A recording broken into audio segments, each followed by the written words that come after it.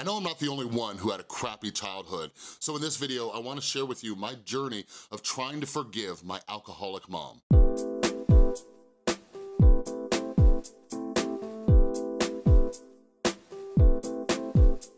What is up, everybody? This is Chris from The Rewired Soul, where we talk about the problem, but focus on the solution. And if you're new to my channel, my channel is all about mental health, and I do my best to try to help you to improve your mental health. So if you're into that kind of stuff, make sure you subscribe and ring that notification bell. So I have a ton of new subscribers. There have been a lot of topics that have come up lately, and I think this video will summarize a lot of what people have been asking, what people need help with, and all of that. And a lot of you are gonna get to know me a little bit better, but there's, there's a lot going on. Um, so I've made some videos about how your childhood can affect uh, who you become as an adult, um, using that as a reason, but not as an excuse. Two of the big things that are important to me and my mental health are forgiveness and empathy, and these are things that took me a very long time to figure out. And it's, it's really hard to tell people who are just meeting me that I used to be the angriest person that you would ever meet. I was just constantly and perpetually angry. And a lot of that had to do with my depression, my anxiety, my childhood, and everything. But anyways, let me, let me share with you this story. It's gonna be kind of long, but if you are somebody who had a bad childhood, a rough childhood, I hope this video gives you some hope. I hope it helps you heal. I hope it gives you some suggestions. Um, so anyways, I'm the child of an alcoholic mom, all right? Spoiler alert, for those of you who don't know, my mom was just in a video I did like yesterday, I think. Um, she's coming up on 13 years sober, all right? So I just wanted to get that out of the way. but anyways, growing up, um, my parents divorced when I was about four years old. Um, we lived in Fresno, California. They got divorced not long after I moved in with my dad. And he was my primary parent. And I would go visit my mom on the holidays. Something that just came to mind is that for many, many, many years, and even to this day, I'm not sure, but for many years, the way I had that story in my head was I was living with my mom, she sent me to go visit my dad, and then she just didn't want me back and I just stayed with my dad. So if you, if you imagine that as a five-year-old child, like that's something that gets printed in your brain and something that's come up in my videos recently is trust issues. So like, it's important to go through this process and realize like where these things are coming from.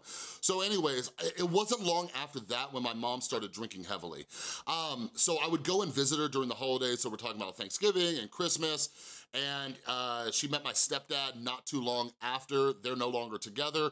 Um, that's a whole different story, but yeah, I just remember going down there and every time I would go to visit, she was just insanely drunk. And my mom was the type of drunk where she was homicidal or suicidal. Like she was threatening to stab or kill somebody else. She's this feisty little Sicilian woman.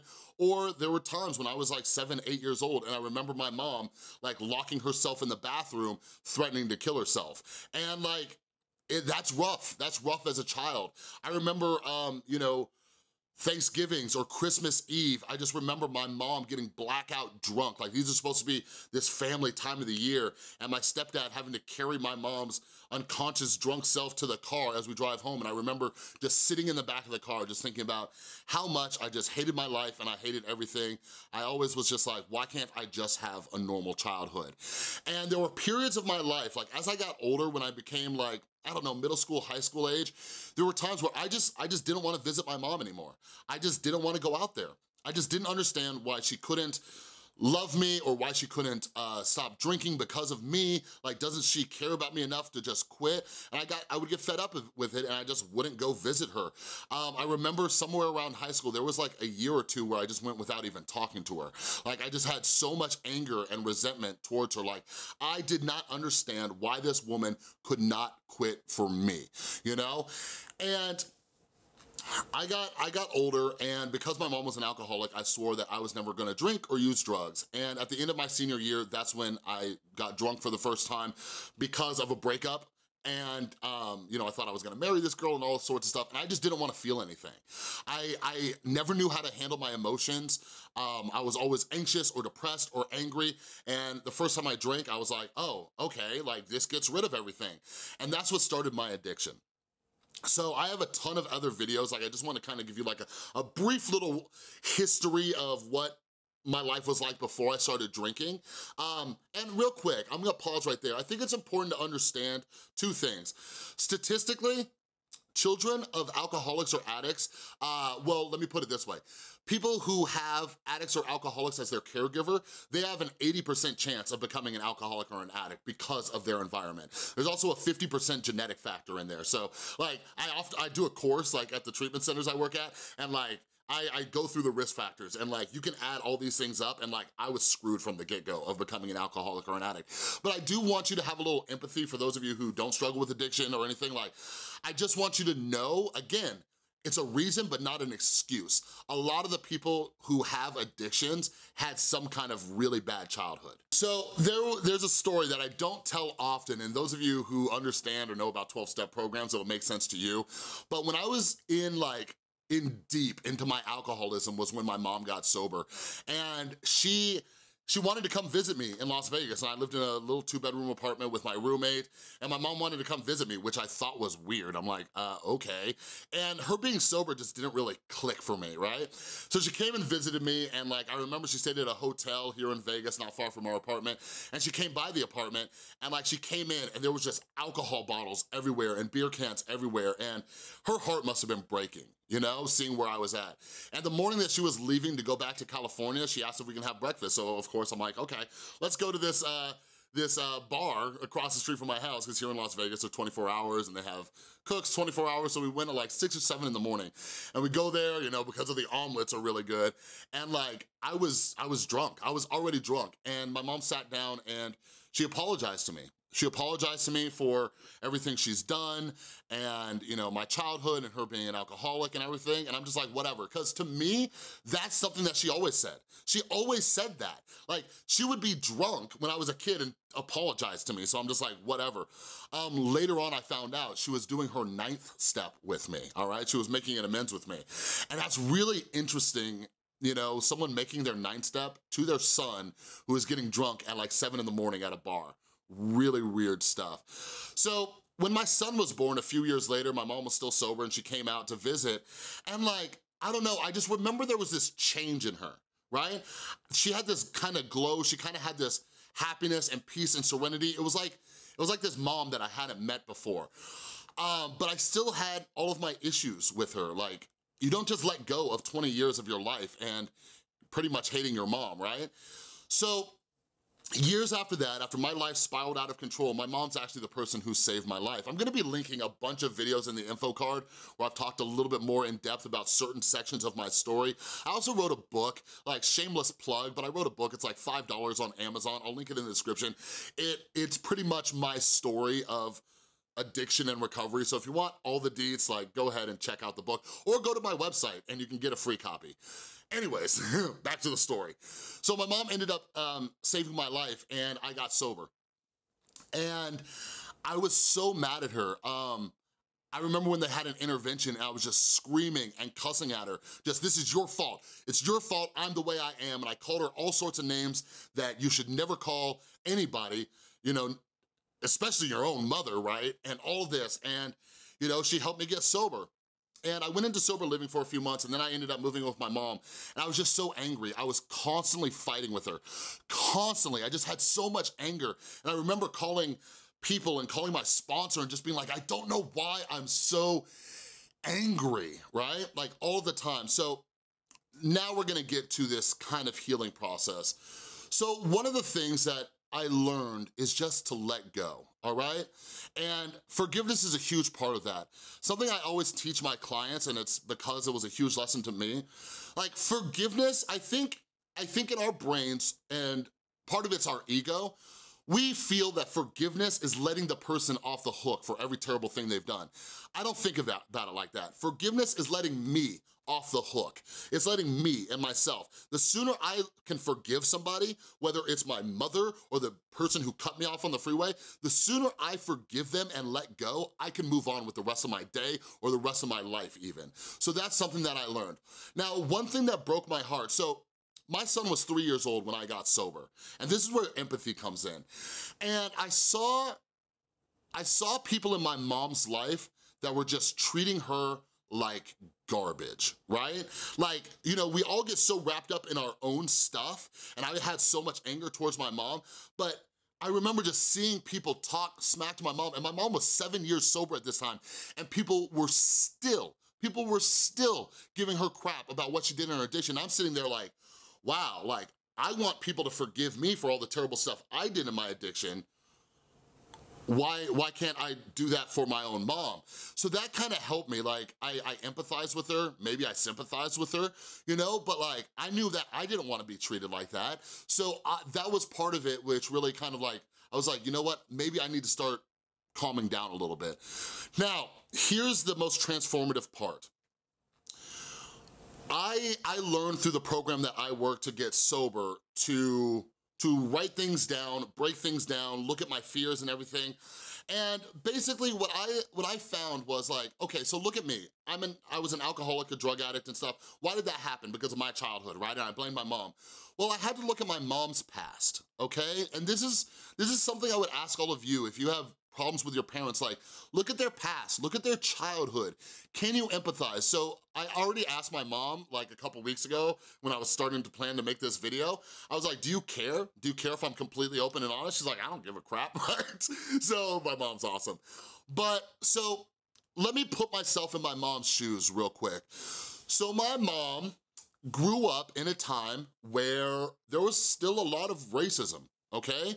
Um, the 50s, the 60s, and all that. And those of you who don't know, surprise, I am half African-American. Yep, that's right, my father is black. So my mom, she... as long as I can remember, my mom is just attracted to African-American men, you know? And yes, I know all of the jokes that come along with that, but my mom is attracted to African-American men. But anyways, back to the serious note. Imagine a young white woman growing up in um, an area where this stuff isn't really accepted and my mom is only dating black men. My mom got bullied, picked on, beat up. My mom has two fake front teeth, right? And just so you know, like my mom ain't no punk. Like my mom wasn't just getting whooped on. Like my mom was a scrapper. So she fought, she beat some butt too. But like my mom was beaten for who she was attracted to. Like that stuff is insane to me, right? My mom was beaten by people at her school. They called her an inward lover and all this. Like this is what my mom dealt with in her childhood. Then going home, my mom is Sicilian. My grandpa is Sicilian. My grandpa is way more accepting now, but back then, um, you know, it wasn't okay for my mom to date African-American men. My, my mom was beat by my, uh, by my grandpa. Like, I remember my mom telling me stories, they were like beat with a hose. My mom would like step up to my grandpa when like he was gonna hit her twin sister or her other siblings. Like my mom was getting in between that. So like, I'm sitting there and I have to look at this, like, look at the childhood my mom had, right? Then later on, I mentioned this a long time ago in a video, but I'm actually supposed to have a brother who's a year older than me, okay? But my mom, um, her and my father's first child, he died just a few days after he was born, all right? So like, after that, my mom had a lot of trauma and panic attacks and so much stuff going on so like when you start to compound all of this stuff that happened through my mom's life, like I look at it, I'm like, no wonder why she turned to alcohol. Like no wonder. You know what I mean? And again, it's a reason, but it's not an excuse. But my mom did what so many people can't do, which is get sober, and then she helped save my life. So like, this is what helped me heal and process this stuff, is that I realized like, you know, not everything is about me. Like, yes, I can sit there and think about my rough childhood, this and this and this, but when I can step back and say, okay, well, her childhood was rough, and maybe that's what turned her into the person that she became. That helped me forgive her. And today, and you know, I'm not even gonna jump to today, I will say this. I lived with my mom for a while before I moved back to Las Vegas, and I remember this, and I, I, just think this is an important part of the story. I remember everything was going great for me. I moved back to Las Vegas, I got a job, I got a beautiful um, girlfriend who I felt was way out of my league. I had money in my pocket. I was seeing my son again, just all sorts of stuff. And my days were going great, but then my mom would call and my day would go to crap. And I started to notice this pattern, right? Like, my day's going great. Anytime my mom calls me, it goes to crap, right? And I was like over a year sober. My mom was sober eight years at this time. And I ended up telling my mom, I said, Mom, listen, I love you, okay? But right now, I need to work on some things before me and you can talk. I said, I need to take a break. So I didn't talk to my mom for a few months Why? while I worked on myself, all right?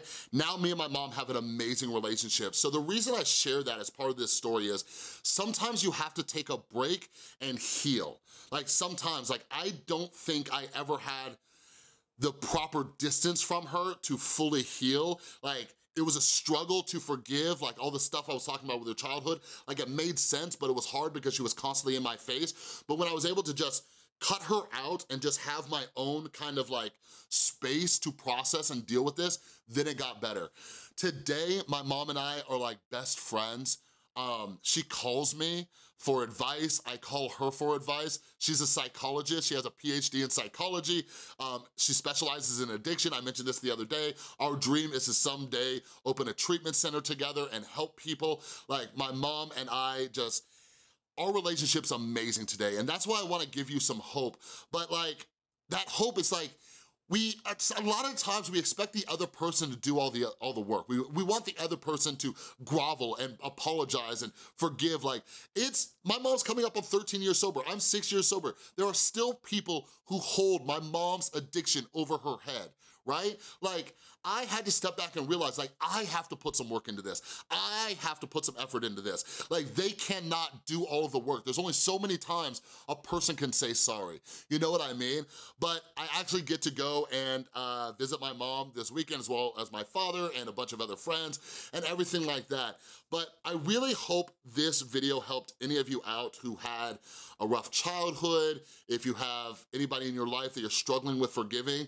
Again, I will repeat this one last time. Forgiveness is not letting the other person off the hook for what they did. Forgiveness is letting yourself off the hook so you can go to sleep at night, so you can move on with your day, all right? But anyways, um, this video is way longer than I expected. If any of you have any experiences that you wanna uh, share, or maybe if you wanna leave comments about how you're struggling to forgive people, maybe I can do a follow-up video about this, make sure you leave comments down below, all right? But that's all I got for you. If you like this video, please give it a thumbs up. And if you're new, I'm always making videos to try to help you out with your mental health. Make sure you subscribe and ring that notification bell. And a huge thank you to everybody supporting the channel over on Patreon. You help me do something I love, which is help others with their mental and emotional well-being. And look, there's some new names on the Patreon list. If you would like to become a Patreon supporter, just click or tap on that link right there. You can do it for as little as a dollar a month. All right, that's all I got for you. Thanks again for watching. I'll see you next time.